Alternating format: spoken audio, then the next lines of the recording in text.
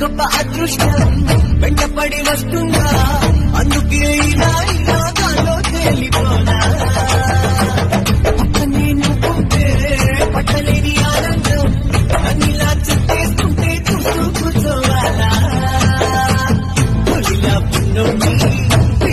అయిపోయా అదిలా మాటేసింది